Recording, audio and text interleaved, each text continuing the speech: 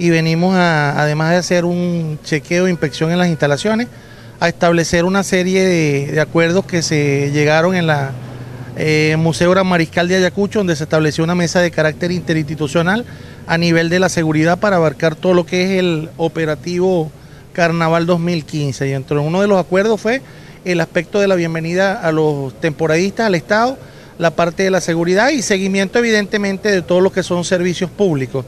Y dentro de ese servicio nos corresponde la Defensoría, todo lo que son los terminales marítimos, aéreos y terrestres de aquí del Estado.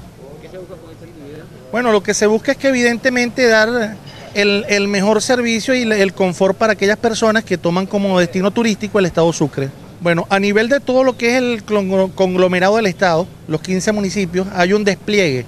De hecho, a nivel de la ciudad de Cumaná, eh, todo el personal de la Defensoría Delegada aquí del Estado Sucre está desplegado, como en este momento está el ciudadano defensor delegado del Estado, el doctor Florencio Contreras, en, el municipio Rivero, específicamente en la comunidad de Las Manoas.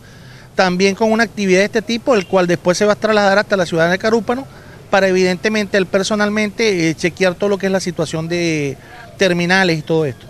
Bueno, inicialmente arrancamos desde este terminal, terminal terrestre. Posteriormente vamos al terminal aéreo y después al terminal marítimo.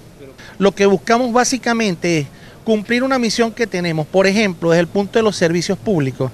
Evidentemente tengo entendido que el ciudadano gobernador, el ciudadano alcalde andan en un despliegue a nivel de todo lo que es el mantenimiento de servicios públicos. Evidentemente, a nosotros la Defensoría del Pueblo como competencia en cuanto a la vigilancia, seguimiento y promoción de los derechos humanos, todo lo que es el derecho a la salud es un derecho humano fundamental y por ende nosotros nos corresponde, como lo dijo en días anteriores, el ciudadano defensor nacional, lo que es la vigilancia de todos los servicios públicos de manera muy estricta para su fiel cumplimiento. Siguiendo lineamientos para fortalecer el respaldo que le vamos a dar y la seguridad que le estamos dando a todos los eh, pasajeros que van a utilizar estas instalaciones durante la, los asuetos de, carnaval.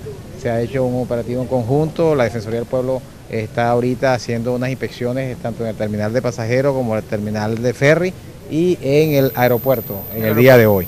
Es por ello que le damos la bienvenida y este, bienvenidos a, hacer la inspección de lo que en esta nueva administración que tenemos en el terminal de pasajeros, que estamos llevando a cabo a través de los lineamientos de nuestro alcalde David Velázquez y mejorando todo el sistema que tiene esta instalación, que a través de cuarenta y tantos años no se le venía haciendo nada.